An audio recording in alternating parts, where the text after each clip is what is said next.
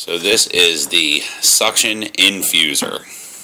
And what this is, if you look, this is to help, I'm trying to get better lighting here.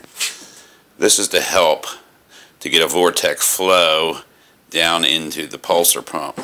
I've been trying to shape it, took some time to cut it. You can see the idea is when the water starts filling into the tube to create the vortex flow right at the top help suck the air in. My computer's down, so I'm doing this with my smartphone.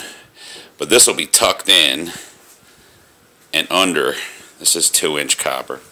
So it'll fit down inside of there. And I'll be able to adjust. Oof. I'll be able to adjust it to get that flow right at the top there to what I want for a better vortex. That's the idea anyway. Happy New Year's, everybody.